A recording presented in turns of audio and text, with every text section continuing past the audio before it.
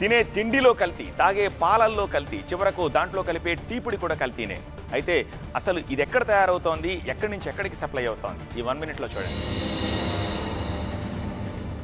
తాగే అలవాటు చాలా మందికి ఉంటుంది. మరి ఇలాంటి టీలో వాడే పౌడర్ ఎలా ఉంటుంది? ఎక్కడి నుంచి వస్తుంది? దాంట్లో ఏం కలుపుతారనే విషయం చాలా మందికి తెలియదు ఈ చిన్న విషయాన్ని అడ్డు పెట్టుకుని ఓ అంతర్రాష్ట్ర నకిలీ టీ పొడి ముఠ రెండు తెలుగు రాష్ట్రాల్లో తమ అక్రమ దందా చేస్తూ కల్తీ టీ పొడి సామ్రాజ్యాన్ని విస్తరింపచేసింది ఈ నకిలీ టీ పొడి ముఠాపై సూర్యపేటలో తీగలాగితే ఆంధ్రాలో డొంక కదిలింది. నలభై ఆరు క్వింటాల డూప్లికేట్ టీ పొడి పట్టుబడింది. దీని విలువ ఇరవై మూడు లక్షల రూపాయలు. ఈ నకిలీ టీ పొడిని ప్రాణాంతక టెట్రాజిన్ రసాయనంతో తయారు చేసినట్లుగా గుర్తించారు పోలీసులు.